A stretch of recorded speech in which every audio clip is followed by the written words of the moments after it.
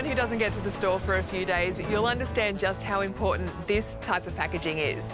But for all of the conveniences of this carton, until recently, it wasn't able to be locally recycled here in Australia. And just think about how many of these you use every week. That's a huge waste problem. Until 2019, Australia was shipping more than 8,000 tonnes of these cartons overseas to be recycled. But thanks to Tetra Pak and SaveBoard, the cartons can now be turned directly into this right here in Australia. So Laura, this is the finished product that's ready to be transported to wherever it's going. And that's how it comes in, in those bales. So I love looking at these bales because by checking out the brands that are in them and what the cartons look like, you can tell what state they've come from or how they were collected. Where in the past would containers like these end up? Yeah, Laura, so most of the beverage cartons that people were putting in their recycling bins would have been sorted with mixed paper and would have ended up at a paper recycler somewhere in the world where the demand for paper is high. And what has changed? A few things have changed. So China changed its policy around recyclable materials that they would accept, and they're a big buyer of paper. They still are a big buyer of paper. And so where does Tetra Pak fit in? We decided that we wanted a local solution. Tetra Pak's aim globally is to make sure that our cartons don't end up in litter or don't end up not recycled. We want to get them recycled everywhere we can. And, and our play in this space really is to work with innovative companies like SaveBoard to find recycling solutions that work locally, like in this instance in Australia. Cartons, like Tetra Pak, have revolutionised food storage.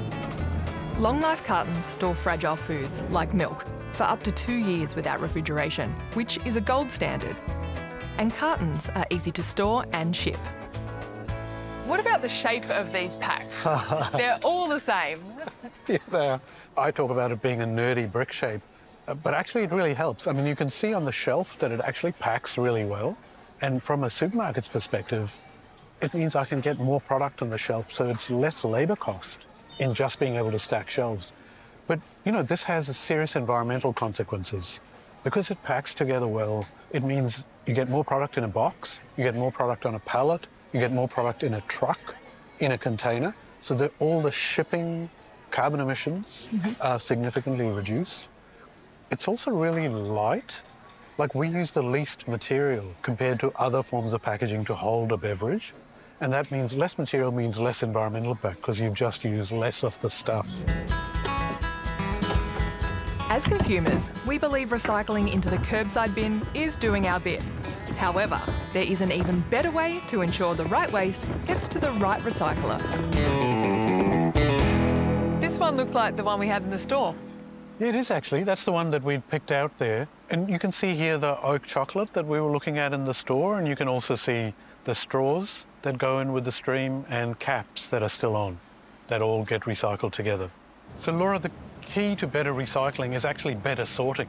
We've actually just implemented a artificial intelligence robot to sort beverage cartons from commingled bins, from recycling bins. Uh, and they're going to start coming here, and we'd love to expand that around the country. It really is impressive that everything, including the plastic, can be recycled into SaveBoard. One of the reasons why I think this is a great way to do it. So once the waste is sorted, what then? How is SaveBoard actually made? What's going on here is we get a bunch of waste product coming in and we turn it into SaveBoard. After the, the products are collected in the container deposit schemes around the country, they arrive here in bales and we separate them down onto the process where we chop them up, we mix them up together with other little components of, of plastics and we put them through and we cook them just like a toasted cheese sandwich and we produce SaveBoard. Total of SaveBoard is 99.5% recycled product. As the board then comes through, it's then palletised and ready for sale. And you can see all the bits and pieces of material all throughout the board. So every type of material that you use in SaveBoard actually comes in these cartons already? That's right. All of the products we need to make SaveBoard are in that one carton. And what about colours and sizes and shapes? Does any of that matter with your cartons? That's the fantastic thing about SaveBoard. It makes no difference. When you look closely at SaveBoard, you can actually see logos and some text. What is that? That's right. Look, it's a great thing about SaveBoard that when we get the product, we shred it, and we shred it to about a, a, size where you can still visibly see that it's waste packaging. So you can really see that provenance of that's my waste that went into the container deposit scheme ending up as Saveboard. Yeah, it's a perfect all-round messaging of here's my waste and here's the end product and I'm doing something good with it. Why did you choose a building product as the end product for SaveBoard? SaveBoard is able to be used as a plasterboard replacement, uh, MDF, um, plywood replacement, ceiling tiles. So it has enormous scale to solve for an enormous recycling problem. Low carbon, water resistant, mold resistant, heavy impact, um, and it's got all of the other functional benefits that any other building material that it's trying to replace. When it is finished for use, we can recycle it again and again and again. And will you turn it back into SaveBoard? Straight back into SaveBoard. SaveBoard's popularity is growing fast. There's already big brands installing the board in public areas. Hi Laura, I'm Crystal. Hey Crystal, nice to meet you. Nice to meet you. Um, come on in, I'll show you the board. Great. Crystal, why are these boards in this area? Uh, well, this is a very high traffic area. So these boards are actually really easy to clean. Yeah, so you can actually see the waste packaging in the walls. You can see little bits and pieces of writing. Yeah, you can feel it and see it. There's lots of different colours. Yeah. The high impact resistance of the board makes it a great choice for commercial spaces that get a lot of bumps.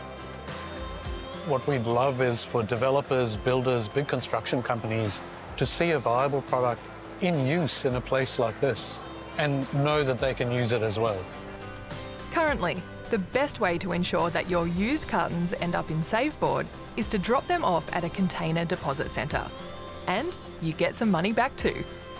We think we've got a really valuable resource in a carton and we want to see that resource used again and again. We would like people to know there is a home for the used packaging material, and that's Saveboard. Every time you choose a product, choose something that you know is made with a natural material and that has a local recycling solution. You want your purchasing choices to make a difference in the world. Recycling will win in the end, won't it? well, I think recycling should win in the end because we need to do more with our natural resources.